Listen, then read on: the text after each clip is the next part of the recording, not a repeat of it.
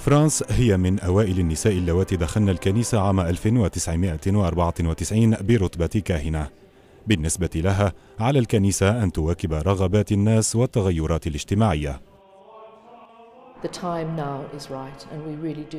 من حين يثير المشروع جدلا واسعا بين الإصلاحيين والمحافظين في المجمع الكنسي إلا أنه يحظى بدعم من قبل ناشطات على مواقع الإنترنت. وفي حال حصل المشروع على غالبية الأصوات في المجمع الكنسي فسيحول القرار إلى البرلمان قبل أن يخضع للموافقة الملكية. وإلا فعلى النساء أن ينتظرن لسنوات طويلة قبل البدء بحملة أخرى.